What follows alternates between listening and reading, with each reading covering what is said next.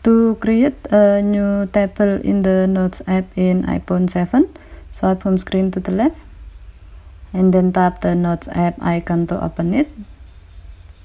Tap create note icon at the bottom right corner of the screen to create a new note. Tap the table icon to create a new table in your note.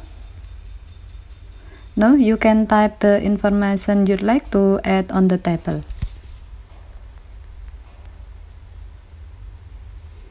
Tap another cell when you want to add information on it or tap next on the keyboard to move to the next cell automatically.